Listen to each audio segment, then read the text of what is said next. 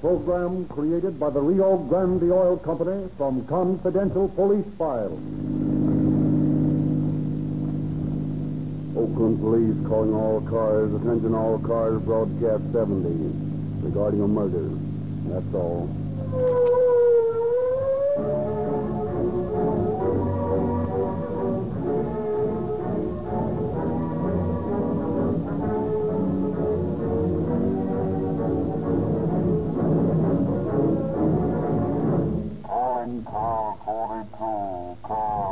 22, woman reporting a crazy man at 14 from Pierpoint Street. Hi. That's us. Let's go. That's got a lot of pep. This old car's got a lot of pep. Hey, it's a different car since we've been using that Rio Grande crack gasoline. Oh, has the city changed gasoline? I didn't know. No, you'd know the difference if you were driving police cars regularly. All the drivers are nuts about this new gasoline. It starts so fast. And look how it accelerates.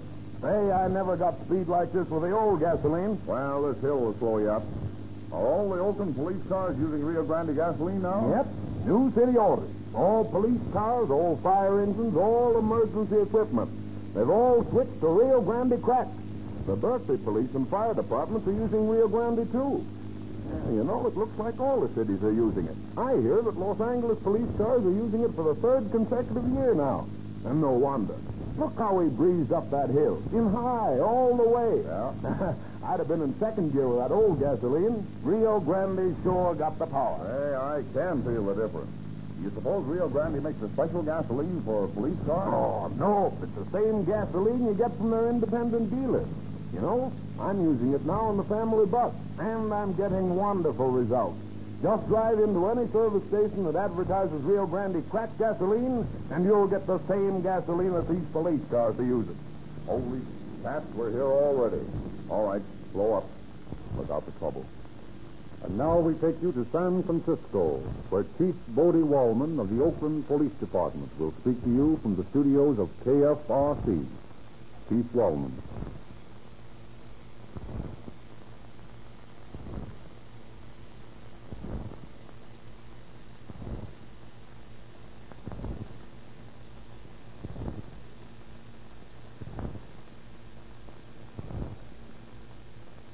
Good evening, ladies and gentlemen. Those of you who are regular listeners to Calling All Cars must have come to the realization that the average criminal is a pretty sorry fellow. He doesn't win. He never comes out ahead. And for the most part, he doesn't use much originality in the conception and execution of his crime. In telling the story of crime, the activities of the police are almost always the most interesting. But occasionally there occurs a case where the story of the man involved is the focal point of interest. Such is the story that we have to tell tonight. You will not hear a story reeking with blood and melodrama and complicated with detective work. Instead, we will tell the story of a man. A man endowed with the attribute of greatness, but unable to cope with the bitter realities of life.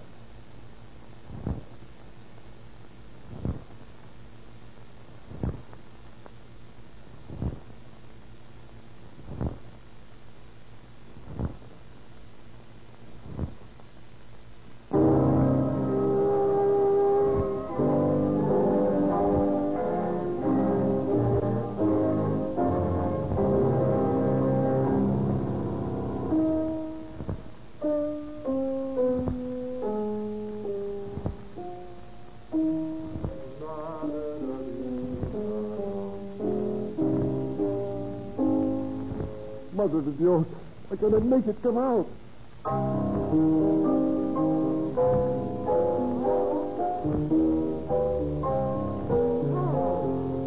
What? Carlos, I must speak with you. Did I you. not tell you not to disturb me? Didn't I tell you to leave me alone? Yes, Carlos, I'm sorry to interrupt, but the baby has no milk, and Good there. When I am composing the most difficult passage of my symphony. You dare to bother me about milk? I'm sorry, Carlos, but we must have money. Money, money, that is all I hear. Why not earn money for you? Yes, Carlos, you have been a good husband. But until you quit your job three months ago. Oh, you accuse me. No, Carlos, I don't accuse Your voice you. it was accusing. How could I go on in that job any longer? How could I continue to work in that music store, selling pianos to people who will never play them? Listen to pigs talk Beethoven, when within me sang a great melody, a great symphony, burning, searing my soul, bursting the bonds of my brain, demanding to be written down that all the world might hear it. Yes, Carlos, I know all that. And I borrow money on my beautiful diamond ring so that you and the child could eat? Pay those people with all that money. it is all gone, Carlos. There is no more And money. get some more. Go out and walk these streets. Get it any way you like. Do not bother me. Carlos, you must listen to me. We must have money. Get out. Get out or I'll kill you with my two barrels. Carlos. You heard me. Do not want to be annoyed. Get out. Get out. Get out.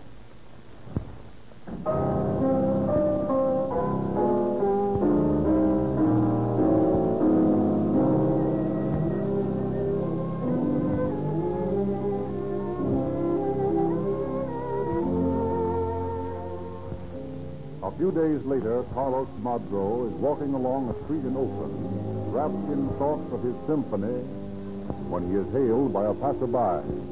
Hello, Madro. Oh, hello, Senor Harry. Oh, you're just the man I wanted to see. Uh, matter of fact, I've been looking for you for several days. See? Yes, regarding that loan I made you. Now, it's a month overdue, and you haven't even paid me the interest on it. Now, I'll have to have that money. Money, money. Do not talk to me about money. Well, I know it's a disagreeable subject, Madro. A root of all evil, as the Bible says. Hmm? And I dare say the Bible's right, too. But it's what makes the world go round, you know. That ring I gave you as security. It was many times the money you lent me. That ring, is worth thousands of dollars. But I can't tie up my funds with any ring. Now, if you don't pay me cash, why, I'll just have to sell the ring for what I can get out of it. Sell the ring? No, you not dare do that. Why not? My mother gave me that ring. It was worn by my father when he was at the court of the key in Madrid. It was the last of my father's treasure. No, I can't help that, Madro. I can't let sentiment interfere with business, you know. The ring, the ring, it is valuable to me. I will claim it someday. When my symphony is complete, I will have that money. I will be the most famous musician in the world. And I will pay you your money twice, three times over. No, I can't count on promises, Madro, but I tell you what I will do. I'll give you until day after tomorrow, and if you don't pay up then, why, I'll just have to sell the ring. No, no, you cannot do that. Oh, yes, I can, and I will. Very well. I'll get the money. Now you're talking. Come to my house tomorrow afternoon. Bring the ring with you. That's fine, Madro. Oh, I'll be there, say, around 3 o'clock. Three, three o'clock. Three. Three o'clock will be a good a time as any.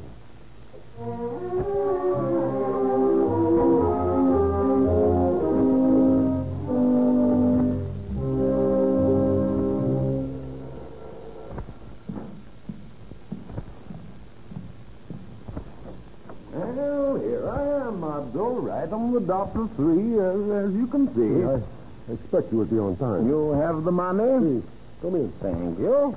Into my studio here. Hmm? You have got the ring? Hmm, right here in the pocket. I know. Sit down, Senor Harris. Before we conclude our dealings, uh, there is something I want you to hear.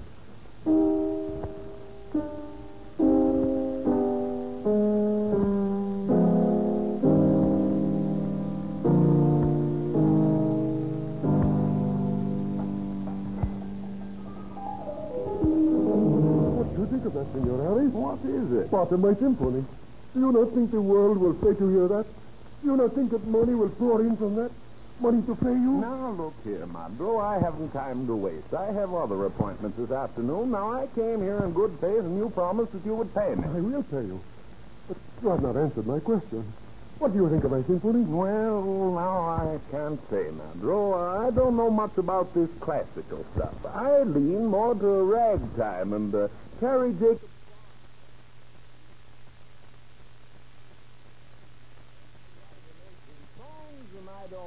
Makes law. Well, I mean, give the people something they can whistle, or something they can dance to. You do not think the breaking heart of mankind sings in this? Do not think the heavy feet of destiny dance through these measures?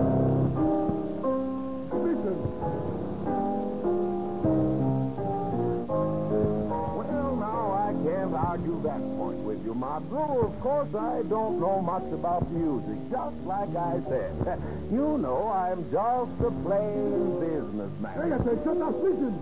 Listen to humanity on the rack. Listen to the century, street mockery.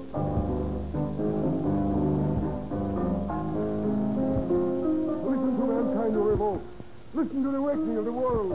Listen to the crushing of oppression.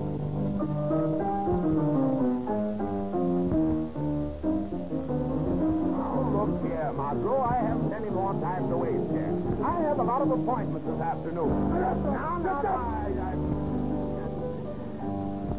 Now this demonstration's gone far enough. If you'll kindly pay me just as you promised, I'll turn over your ring to you and our dealings will be at an end. Listen, Mr. Harris. Listen to mankind's answer. Now look here, man. I... No, Senor Harris.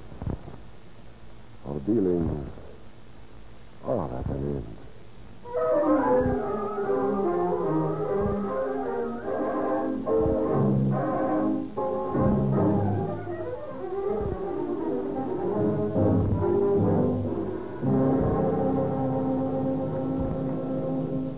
Pardon, Inspector Wallman, but there's a woman outside. I think you'd better talk to her.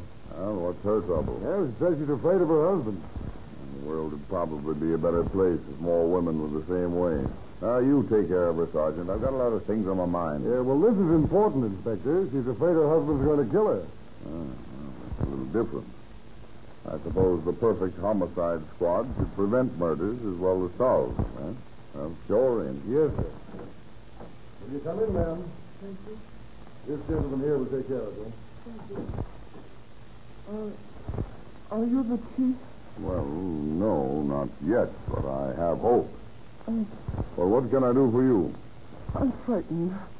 I'm scared of my husband. So the sergeant told me. Why are you frightened of your husband? Well, last week he threatened to kill me when I asked him for money to buy milk for our baby. And today, when I came home, he had his diamond ring back and he tried to get me to go into his studio with him. He said, Look, I got it back. Oh, there's a funny look in his eyes. Now, wait a minute, wait a minute. What, what's the diamond ring to do with it? Well, well, you see, he borrowed some money on his diamond ring so we could eat. And he didn't have any money to redeem it. I don't know how he got it back.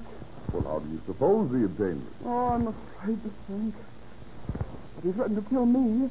Maybe he killed Mr. Harris, the man who lent him the money. Why didn't you ask him where he got the ring? No, I was afraid. He was crazy. He kept telling me to come into his studio, and he never lets me in there.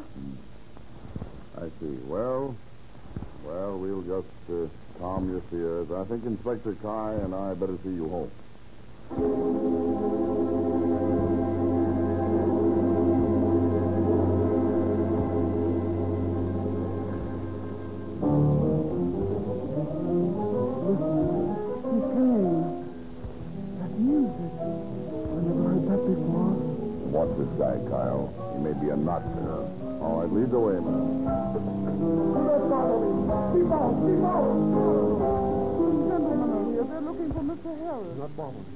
I have it. I have it at last. Just listen. Where's Harris? I don't know. He was here, wasn't he? I think so. Perhaps he was. Because he left out. Do not bother me now. he? This guy's bugged or something, Kyle. Now keep your eye on him. I'm going to take a look at this closet. What's up? Here's Harris. You have spoiled it. Murder. You have spoiled it. I had the whole thing. The essence of humanity suffering. I had it, I tell you. You spoiled it. Who killed this man? Who killed this man? I don't know.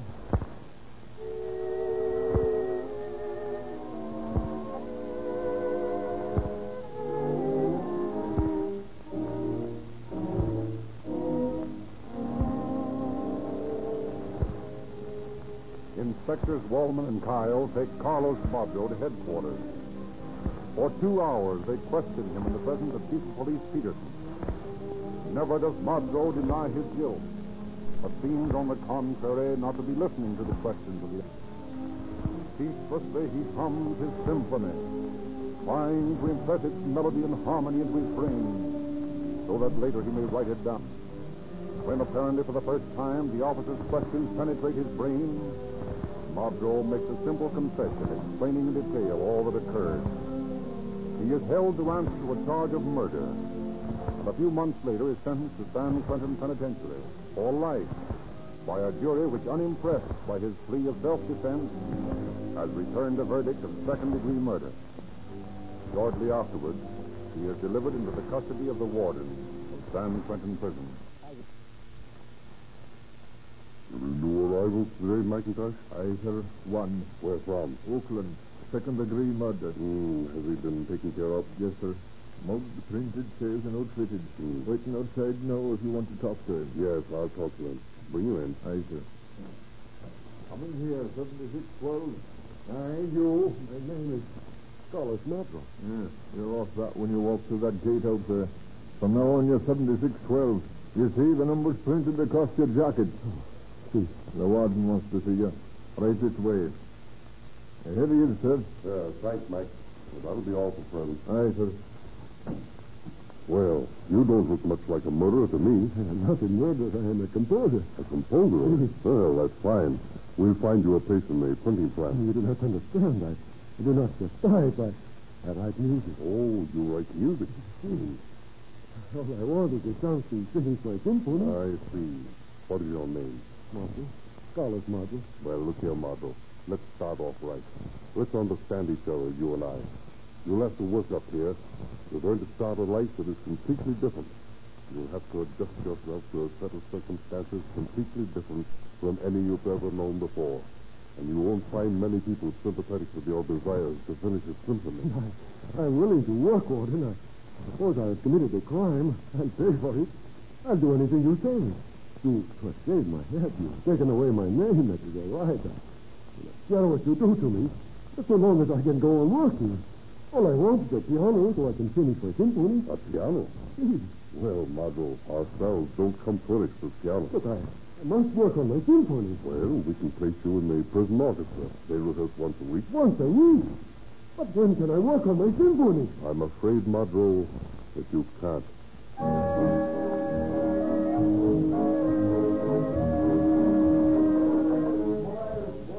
not that there.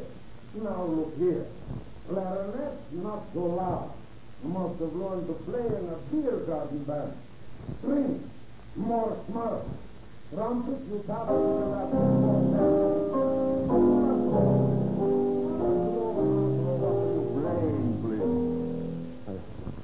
trying to work out some harmony on my symphony. Your symphony. You're worrying about your symphony when I can't even get these doomheads to play one super right. Now you save your symphony for when you get parole. Now, all together, boys. Once more.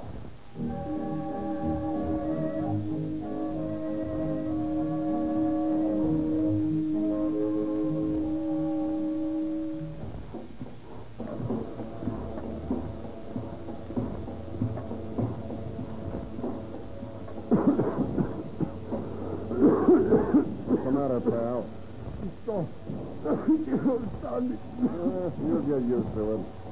The juice will always get the fresh fish at first. Wait till you've been at it as long as I have. How long is that? Five years. Five years in this terrible place. I cannot wait that long. What's your hurry? You're not going anyplace. Five years, ten years, a life. No piano. Nothing but scraps of paper and bits of pencil. Nothing to beat our time. Nothing to help me get the notes on paper. Nothing. What is that? This machinery. These wheels. These belts. They have rhythm. They have tempo.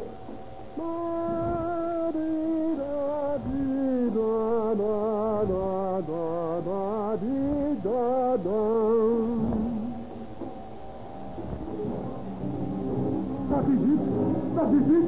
My Sir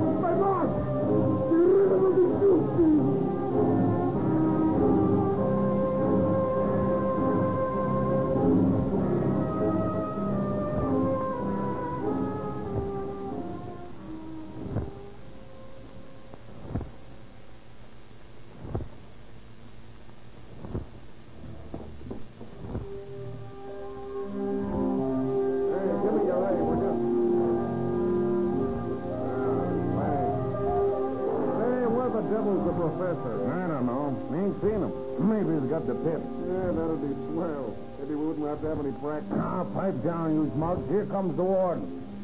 Hey, look. That screwy piano player Madro's with him.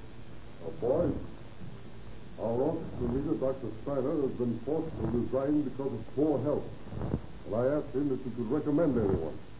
To my surprise, he said that one of us here was even better qualified than he to lead the orchestra. To open Dr. Steiner's recommendation, I am turning the baton over to Carlos Madro, number 7612.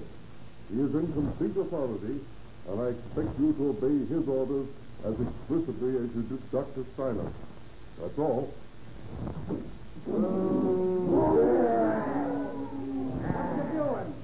Sucking for the parole? Yeah, red apple and the teacher,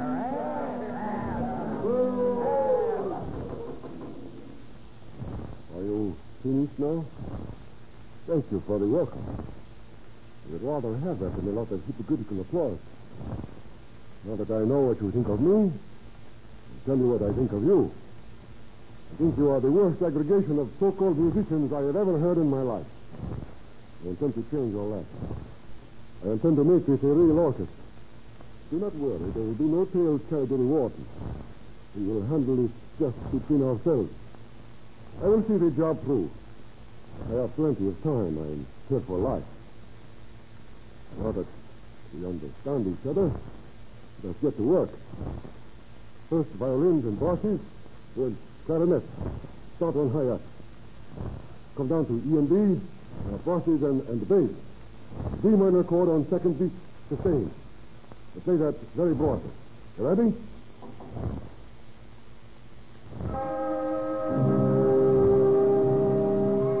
Good. Now, once more. More forcing this time. Hey, what is this? A memory chord? Where's the part for this stuff? You'll get them soon. I'm still writing it.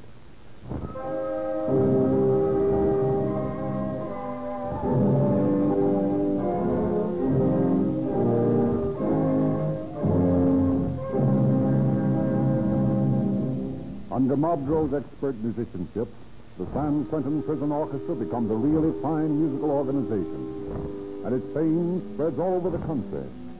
Slowly, Madro wins the hard-boiled members of his aggregation to a staunch personal loyalty, and many are the fine musicians he develops and sends forth from the grim walls of the old prison.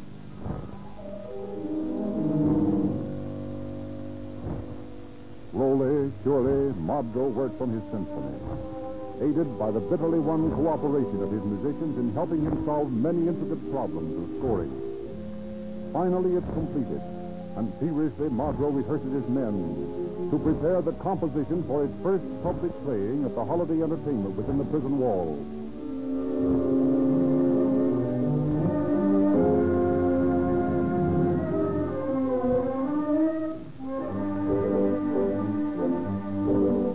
At last, the great day arrives. Proudly, the warden announces to the inmates, from the guests from the outside, that the San Quentin Orchestra is about to play for the first time the Symphony Number One of Carlos Madro. Trembling with emotion, Madro takes the stand, raises his baton, crashes into the opening chords of his great work.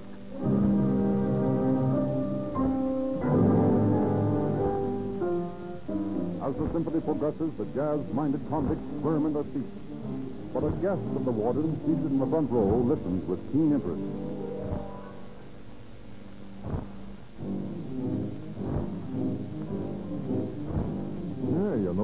That's great stuff. Yes, I'm mighty proud of that boy. This part of it he calls the rhythm of the jute mill. Yeah, the rhythm of the jute mill, eh? Yeah. I don't suppose there's any chance of taking this outfit out of the vaudeville tour. Well, hardly. Yeah, I didn't think so. too bad. I could clean up a fortune with him. And a great detective. Undoubtedly. But there's hardly any sense in carrying a 40-man crime wave around the country the way things are right now. Yeah, that thing he's saying is good stuff. Yeah, I could do something with that. What do you mean? Well, get it published. But I suppose there'd be an objection to that, too. No, I don't see why. Marjo's done a very nice thing there. If he can realize that, he's entitled to it. After all, the state saves $1,500 a year by using him as band leader instead of an outsider. Uh, would there be any chance of me seeing him after the concert? Certainly. I'll have him sent to the office. Thank you.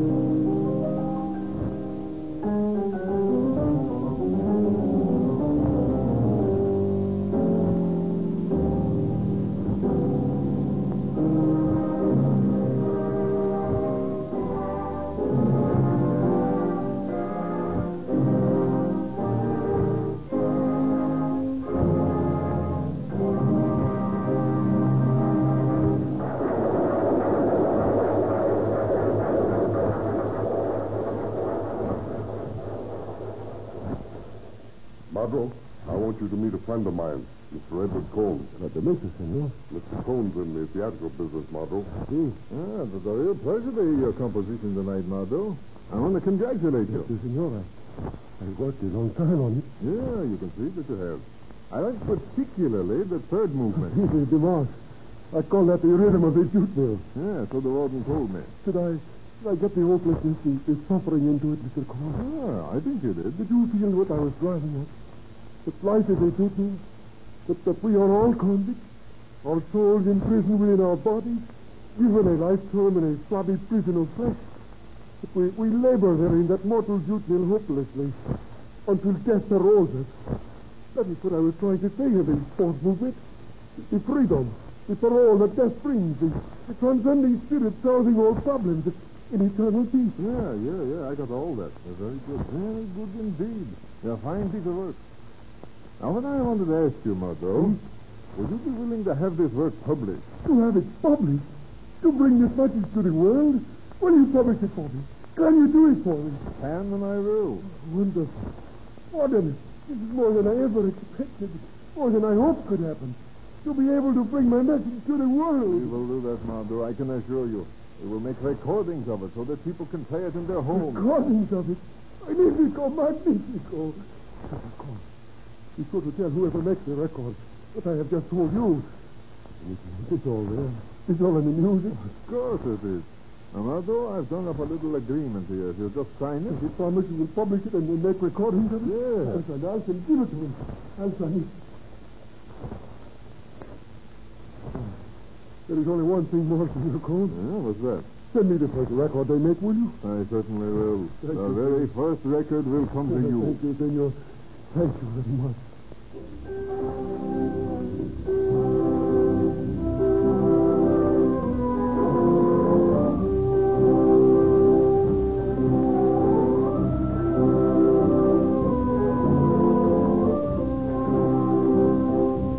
For weeks, Happy Carlos Madro walks the prison yard on clouds. His imprisonment means nothing to him now. He tastes the sweet nectar of artistic achievement and already is planning his symphony number two, his next great work. And then one day he receives a summons to the warden's office. Uh, come in, Margot. You sent for me, senor? Yes. The record's come Carl, let me hear it. Let me hear it. right away. I had my electric phonograph brought over from the house so that you could get every note. Please turn it on. Turn it on quickly, please. Very well. Here it is.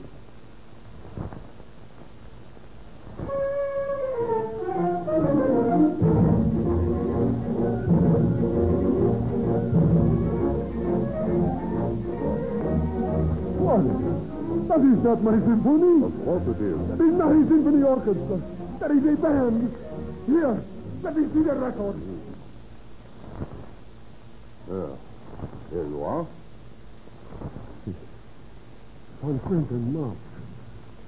Convict number 76 My rhythm of the mill, played by a cheap band. Do you want to hear the rest of it? Oh, thank you. Well, here's your record. I do not want it. Why, what's the matter, Bartle? Where are you going?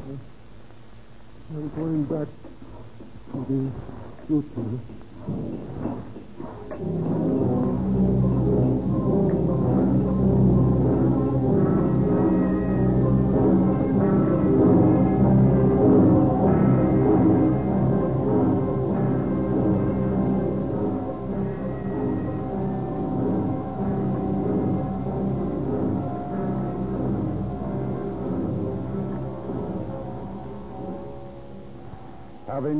The state $10,000 by his services as orchestra leader, the man we have called Carlos Madro was finally paroled in 1929, a broken and sick old man to be deported to his native Spain.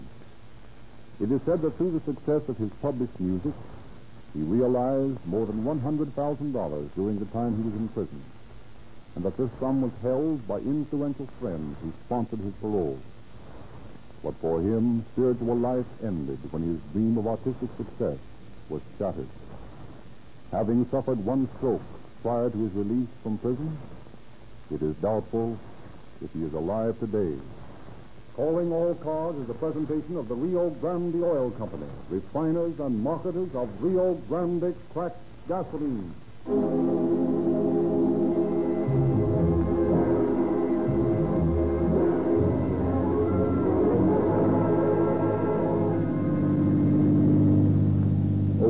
Police calling all cars, attention all cars. The cancellation broadcast 70 regarding a murder.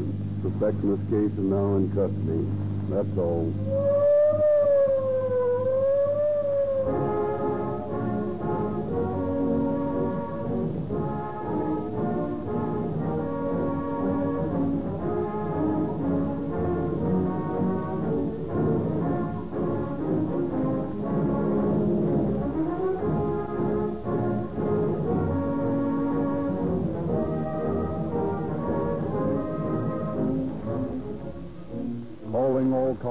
Written and produced by William N. Robson.